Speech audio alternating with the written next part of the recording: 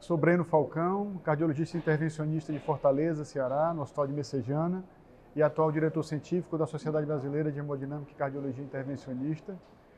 E é com muito orgulho que chegamos ao fim, no terceiro dia do nosso congresso SPHCI Solace 2023, com a certeza de que tivemos um evento maravilhoso, sessões científicas de alto nível, muita atualização, demonstrações de casos ao vivo de centros internacionais da Ásia, Europa, Estados Unidos, demonstrações vivo de vários hospitais do país, casos editados de múltiplos centros nacionais, workshops, sessões de simulação virtual e de bancada, muita interação.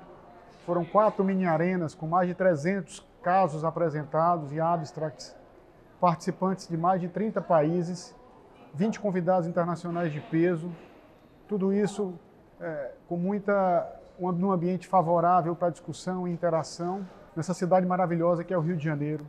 Temos certeza que criamos um ambiente adequado e a referência para que no ano que vem em Fortaleza tenhamos um congresso ainda melhor. Muito obrigado.